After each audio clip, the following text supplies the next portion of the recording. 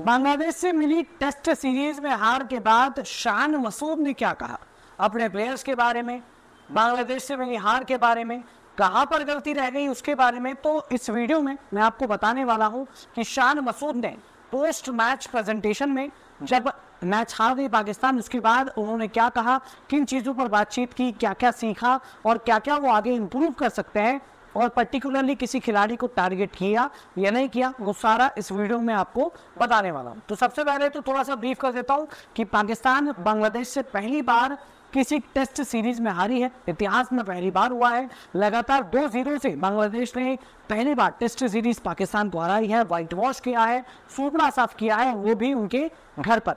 बांग्लादेश बड़ी एक्साइटेड है, बांग्लादेश बड़ी खुश है और पाकिस्तान एज एक्सपेक्टेड जो उनका 2022 या 2023 से चला रहा है डेढ़ दो साल का जो सिलसिला है, तेरह सौ दिन के अराउंड हो चुका है और पाकिस्तान एक भी मैच अपने घर पर नहीं जीत पाई है। तो शान मसूद ने पाकिस्तान की हार के बाद क्या कहा? ये मैं आपको बताता हूँ। सबसे पहले उन्होंने कहा कि मैं बहुत ज़्यादा डिसअपॉइंटेड हूँ, निराश हूँ। हम बहुत अच्छे एक्साइटेड थे कि हम अपना घर पर खेलेंगे सारे मैचेस और उसके बाद ये भी कहा है कि भाई, ऑस्ट्रेलिया में जो चीज़ें हुई थी, वही चीज़ें अभी भी हो रही है तो हमने वहाँ से कोई भी पाठ या लेसन जो है वो नहीं सीखा। फिर ये भी कहा गया कि हमें कहा गया था कि यार हम अच्छा क्रिकेट खेल रहे थे ऑस्ट्रेलिया में, बस हम अपनी काम जो है वो अच्छे से नहीं कर रहे थे, जिस पर हमको काम करने की ज़रूरत थी बट वो चीज़ भी काम नहीं आई। फिर ये भी कहा कि मेरे कप्तानी के कार्यकाल में चार बार ऐसा हो चुका है, जब हमारी टीम एक समय पर डोमिनेट कर रही थी बट अचानक से स्लिप होती है और फिर पूरा मामला गड़बड़ा जाता है। फिर यह कहा कि टेस्ट क्रिकेट में और ज़्यादा फिटनेस ज़रूरी होती है। फिर उन्होंने कहा कि यार, पहले टेस्ट में जो हमने चार फास्ट गेंदबाज खिलाए थे ना, जो चार पेसर्स उसका कारण ये था कि हमने सोचा था कि यार वर्कलोड जो है मैनेज करना थोड़ा सा आसान हो जाएगा।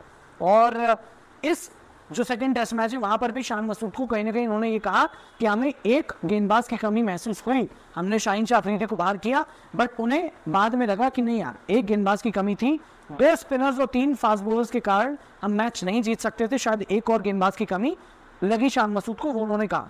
फिर कहा कि दो एक अच्छा स्कोर था पहली पारी में, मुझे और सही मयूब को और ज़्यादा रन बनाने थे, जैसे कि रिटर्न दास ने बनाए बट हम नहीं बना पाए। उन्होंने कहा कि इस पर हमको काम करने की ज़रूरत है, और साथ ही साथ ये भी कहा कि हर हार के साथ साथ कुछ ना कुछ नया सीखने को मिलता है तो ये पता चला है।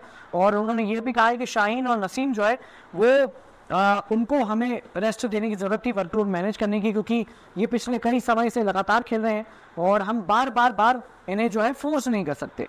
फिर उन्होंने कहा है कि यार और ज़्यादा अगली बार हमें प्रिपेयर होकर आना पड़ेगा। और उन्होंने कहा कि यार अभी लंबा डोमेस्टिक और टेस्ट सीज़न पड़ा हुआ है और हमें इंग्लैंड के लिए बहुत अच्छे से प्रिपेयर होना पड़ेगा क्योंकि अब इसके बाद इंग्लैंड जो है पाकिस्तान जा रही है वहाँ पर टेस्ट मैचेस की सीरीज़ है।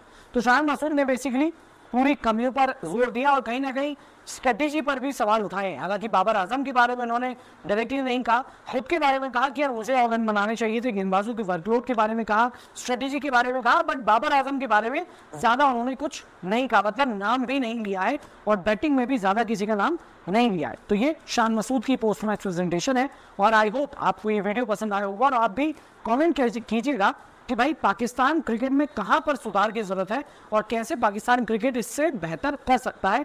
क्योंकि पूरी दुनिया को पाकिस्तान क्रिकेट की ज़रूरत है। अगर पाकिस्तान अच्छा करेगा तो दुनिया की क्रिकेट भी अच्छा करेगी और एक अच्छा कॉम्पिटिशन जो है वो बना रहेगा। तो इस वीडियो को लाइक कीजिएगा शेयर कीजिएगा, हमारे यूट्यूब चैनल को सब्सक्राइब कीजिएगा फेसबुक इंस्टाग्राम ट्विटर हर जगह पर हम मौजूद हैं तो वहाँ पर हमें फॉलो कीजिएगा लाइक कीजिएगा और बस देखते रहिए दिव्यांशी और प्यार देते रहिए। Thank you so much.